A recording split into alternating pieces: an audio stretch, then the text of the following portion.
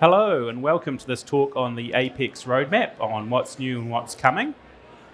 I am Daniel Ballinger, Product Manager for Apex, and joining me today is Chris Peterson, Senior Director of Product Management for Apex mostly, but also general developer experience. So, you all have seen this slide never before in your life, I'm sure. You should make any and all purchasing decisions based on generally available functionality, and you know the rest of it. Right, so today we're going to cover four key areas plus go over the roadmap in general. First, we're going to go over what's new and improved for enforcing security in your Apex code. Then we'll talk about the improvements we're making for async processing, mostly around queuables. We'll look at what we're doing for quality of life improvements for developers. These are things like your idea exchange ideas. Then we'll look at data processing and how you can make more out of your Apex code. And then we'll do a quick recap of where the roadmap's going for Apex. So first, Chris, can you take us through security, please? Of course, it's like all I've been talking about for the last few Dreamforce and TDXs. So, hopefully you're all familiar with user mode database operations in Apex at this point. If you are not, they let you take the traditional ugly mess of describe calls that frankly I found embarrassing that we see on the top of the code here and turn it into what we have on the bottom.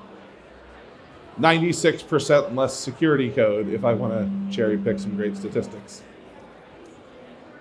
User mode is now generally available. It is fully supported for the AppExchange security review now, although I will note that the Checkmarx scanner has not been updated. So if it dings you on this, you're okay, put it in your false positive document.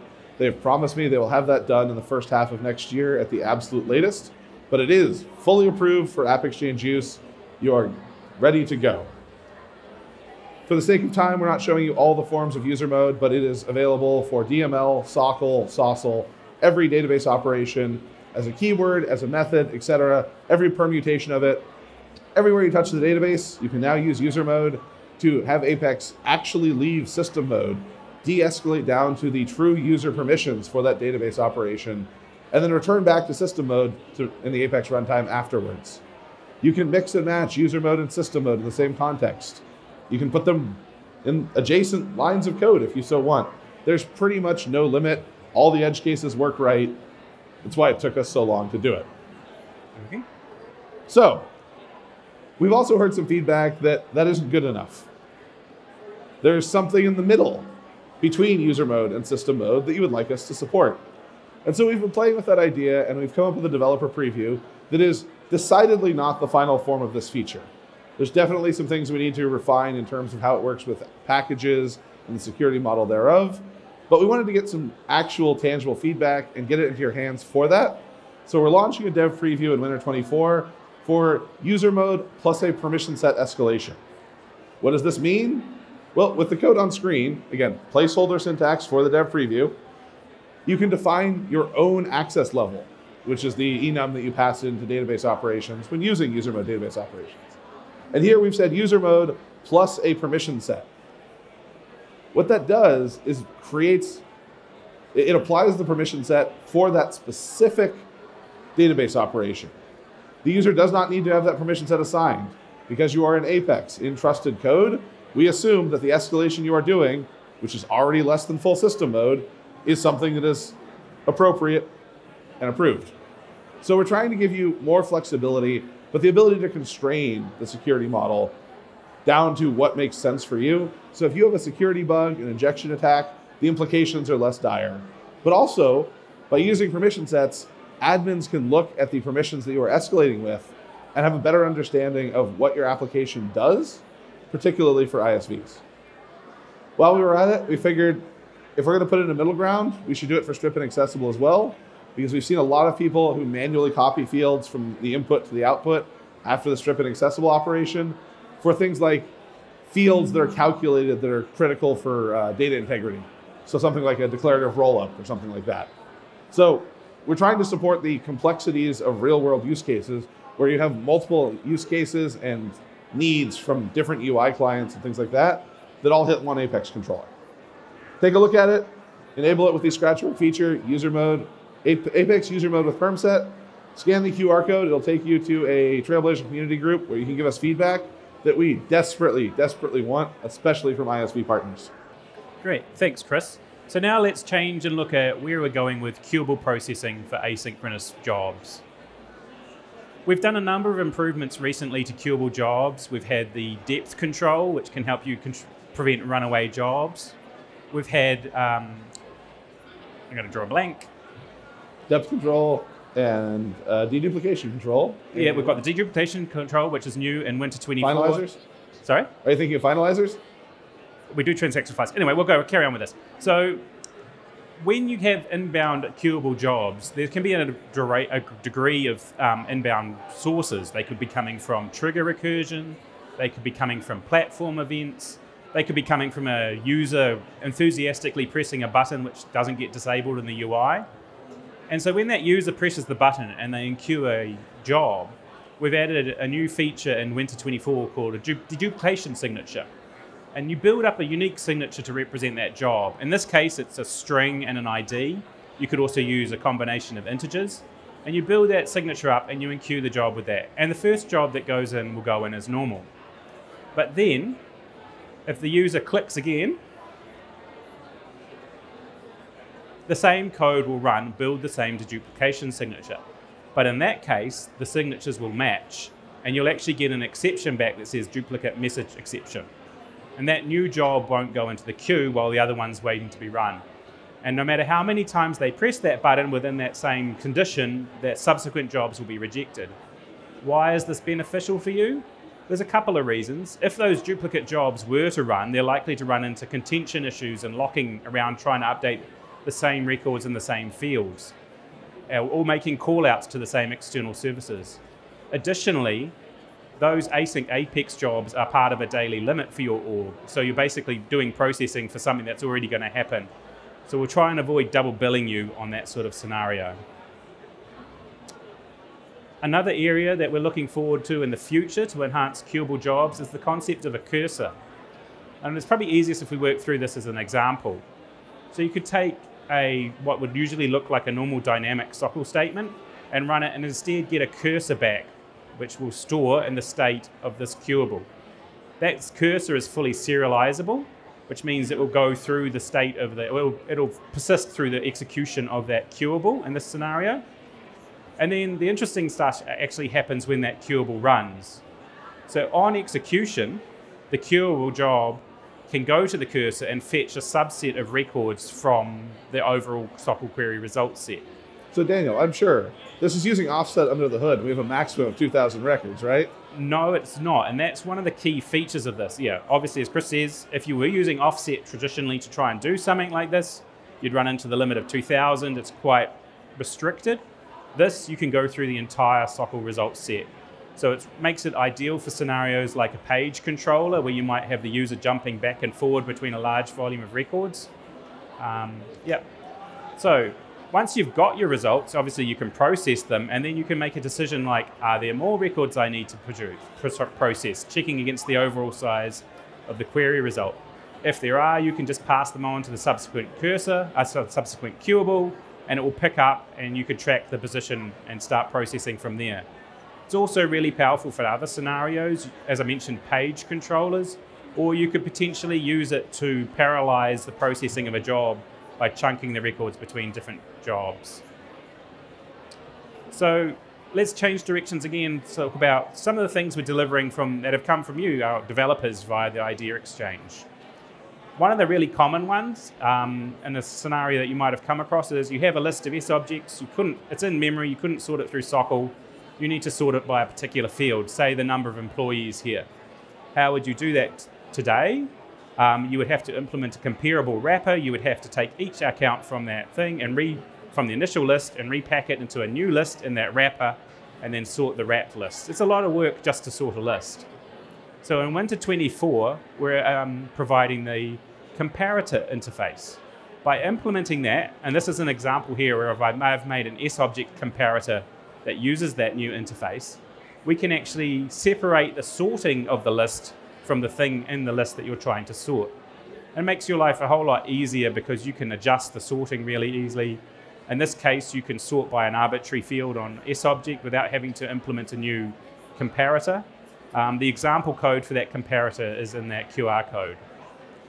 My favorite part about this, if you want to do this on hard mode, your collection does not all have to be the same type. You can, in theory, support sorting mixed types in the same collection. So if you have multiple S objects in a mixed collection, you can have the same comparator as long as it understood the collection contents, sort them all collectively. Correct, yes. Right, Chris, do you want Yes. to talk about null coalescing, please? Yeah, i.e., the second half of safe navigation that we didn't finish until now. So, hopefully, you all know and love the safe navigation operator that we introduced a couple of years back at this point.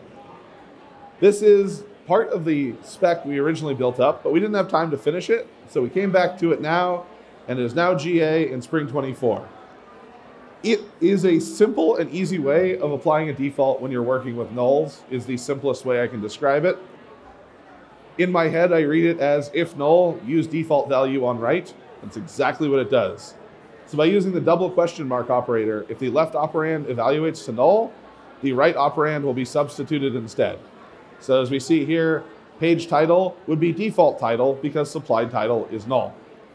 Given that 13% of all unhandled Apex exceptions in production are null pointer exceptions, we figured you could use yet another tool to make dealing with nulls just a little bit easier as a nice quality of life improvement.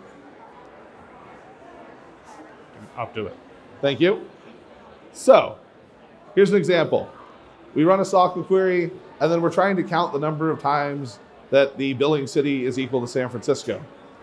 But if billing city is null, we get back a literal null in our JSON, which may not be compliant with the schema we've told our clients about. So yeah, we could add an if statement in there and handle that fallback. This isn't hard, but it's ugly. I got it. And I think this looks a lot better.